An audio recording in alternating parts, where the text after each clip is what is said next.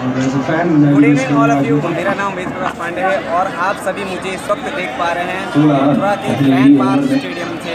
जी हाँ ये grand park stadium जो कि I P L season ten के संस्करण में आई पी एल द्वारा लगाया गया है ये। इसमें आज हम पहला मैच देख रहे हैं सनराइजर हैदराबाद और रॉयल चैलेंजर बेंगलुरु के मध्य जिसमें कि लास्ट फाइनल जो हमारा आई पी एल नाइन हुआ था इन्हीं के मध्य हुआ था।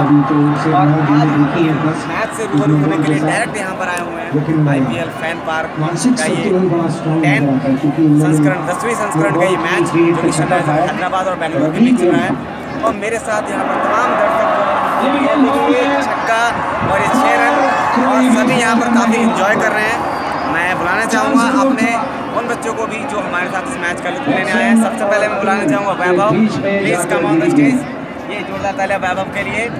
वैभव आप कौन स्कूल आए हैं और हम आदमी पब्लिक स्कूल से आए हैं। तो आपको यहाँ पर आकर कैसा छोटी नहीं थी कि फुल करना चाहते थे और वो IPL मैच देख रहे हैं वो जितने पास चहल की एक्साइटमेंट देख के वहाँ पीछे और कहीं ना कहीं ऐसा लगा कि डाइट लग सकती है। बिल्कुल इसीलिए ना तो उसने बाकी सारे फील्डर्स भी आप चाहते हैं कि कोई ना कोई तो जाए उस गेम के लिए। जो घर पर अपने टीवी में देख रहे और क्या बॉक्सन भी लग रहे थे जो आसपास हैं। अच्छा कर हैं लेकिन उसमें से थोड़ा कम कम छोटा छोटा दिखता लेकिन अगर Pablo वो Mills। सकते तो उनको पूरा जी भाई की लगता है फास्ट बॉलर हैं और दाहिने हाथ से थ्रो फेंकते हैं कोई ना कोई हर फैमिली बिल्कुल यहाँ बड़ी सरप्राइज़ हुआ था खासकर जो एक रन फालतू में दिया था वो है हम पर अक्सर मैचेस देखते उसके हैं। साथ लेकिन हमें चाहिए कि हम समाज से रूबरू हों और फ़ैन पार्क जो है संस्करण में आकर यहाँ पर अपना मैच देखें। मैं आगे बुलाना चाहता हूँ पी इंटरनेशनल स्कूल के एक खिलाड़ी जो कि कराटे खिलाड़ी हैं वो भी आज हमारे साथ मौजूद हैं। आशीष उनकी जोरदार जो आशीष के लिए है नहीं बहुत ही अच्छा लग रहा है क्योंकि तरह के गेंदबाज। मैं पहली बार फ़ैन पार्क में आया हूँ।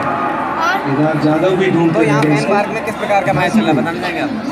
यहाँ पर बहुत ही अच्छा मैच चल रहा है यहाँ पे